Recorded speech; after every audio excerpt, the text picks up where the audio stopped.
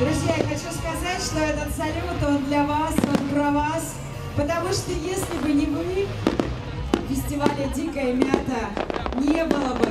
Спасибо вам огромное, этот салют для каждого из вас. Спасибо, что вы есть.